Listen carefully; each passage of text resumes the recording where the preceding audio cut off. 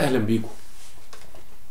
دلوقتي إحنا عايزين نتكلم في آخر مهارة من مهارات آه، مدير المشروعات آه، اللي لازم يكون آه، مش هنقول أحسن واحد فيها لكن لازم يكون كويس جدا فيها. زي زي الباقيين مفيش حد أحسن واحد في حاجة لكن لازم يكون على الأقل على مستوى جيد في كل المهارات اللي إحنا اتكلمنا عنها.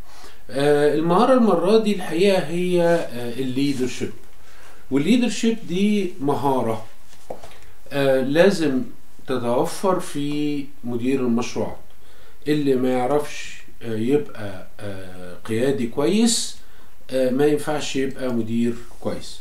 وده يمكن آه، يخلينا نتكلم على آه، موضوع ال leadership شوية. آه، ويمكن بحب ابتدي الكلام بال quotation دي من جون ماكسويل واحد من الناس اللي كتبت كتير قوي عن المهارات القيادية وقال لك إن leadership is influence nothing more nothing less.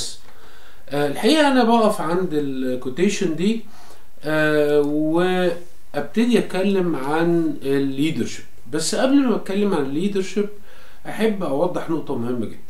أنا قلتها من شوية بس لأهميتها أحب أكررها. وهي إن مفيش حاجة اسمها مدير ناجح من غير مهارات قيادية ممتازة. آه ومفيش قيادي ناجح من غير ما يكون له سلطة إدارية. okay؟ آه ملناش مفيش معنى في مجال إدارة المشروعات إن أنت تبقى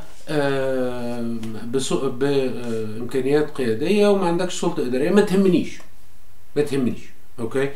المهم فللأسف أنا ليه بكرر على النقطة دي وبأكد عليها؟ لأن انتشر في وسطنا آه، نكت كتير بتتقال بتتريق تقول لك الفرق بين ال boss وال leader وتقول لك الفرق ما بين ال management وال leadership و و و بالرغم من إن بعض الحاجات دي فعلا مبني على آه كلام من ناس من اللي هي يعني آه موثوق فيها في الكتابة في مجال ال management إلا أنا تعليقي الحقيقة آه ورأيي الشخصي هو إن آه مفيش حاجة اسمها management من غير leadership ولا leadership من غير management آه أعلى الأقل في مجال إدارة الأعمال ومجال آه الإدارة آه إدارة المشروعات بمعنى إن أنت لو عايز تبقى مدير ناجح لازم تنمي مهاراتك الإدارية ودي مهارات مكتسبة. آه، بتتدرب عليها بتتعلمها بتقرأ عنها في الكتب بتمارسها وتغلط وتعمل صح وغلط وصح وغلط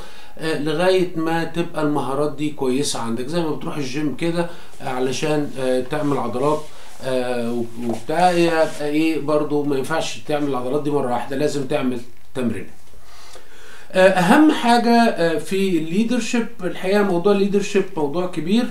آه، فبفكركم بال quotation اللي كنا وقفنا عندها وهي ال quotation بتاعت أهمية ال influence يعني إيه influence ال influence اللي هو بنترجمه التأثير.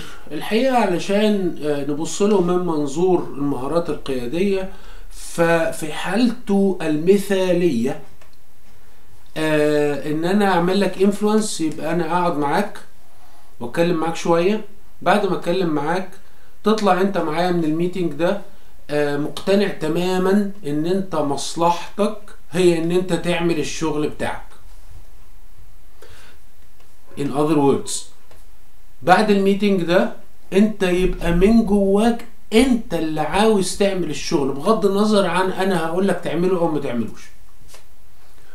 يبقى لو حبينا نقولها بالبلدي ال influence إن أنا أقدر ألعب في دماغك. أوكي؟ آه طبعا العب في دماغك بشكل إيجابي العب في دماغك بشكل يخليك أكثر انتاجا أكثر كفاءة أكثر فعالية في شغلك. okay؟ آه آه، وأنا قلت لك ده في حالته المثالية إن أنا ده لو عملت لك influence زي ما اكون إيه بقى؟ عملت switch on عندك وأنت بقيت عايز تعمل أنت اللي عايز تعمل الشغل. آه، مش مستني حد يقول لك اعمل وما تعملش. طبعا ده جميل جدا. طيب أمال في حالته الغير مثالية بقى في حالته الغير مثالية المهارة القيادية الجيدة هو إن أنا أقدر أعمل لك تحفيز جيد بحيث إن أنت فعلا تبقى عندك إقبال عالي على الشغل وتبقى عايز تشتغل بنفس وعايز تشتغل من جواك على الأقل لفترة ما من الزمن وبعد كده أجدد عملية ال motivation دي من حين لآخر. okay؟ مش هقعد اتكلم كتير تاني عن ال leadership دلوقتي يمكن هنذكرها تاني قدام.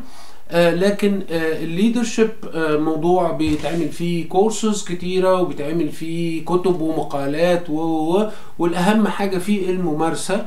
آه فانا هحط لكم إن شاء الله link لمحاضرات كده كانت معمولة عن ال leadership آه يمكن إن شاء الله تستفيدوا منها لكن أرجع أقول لك الممارسة هي أهم حاجة في مهارة آه القياده آه يبقى إحنا كده دي آخر ده آخر فيديو في المحاضرة بتاعه who is project manager إحنا المفروض كده اتكلمنا مع بعض عن هي إيه المهارات أو إيه السمات اللي مطلوبة في ال project manager آه المهارات الفنية المهارات آه الإدارية والمهارات مهارات إدارة ال projects يعني ال project management ولازم يكون عنده المهارات القيادية الجيدة.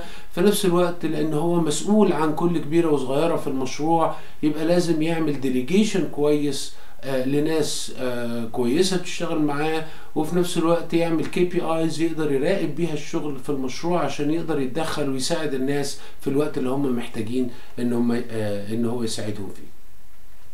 أرجو إن المحاضرة تكون مفيدة أرجو إن إحنا نكون اتعلمنا شوية حاجات كويسة وأشوفكم إن شاء الله في المحاضرة الجاية.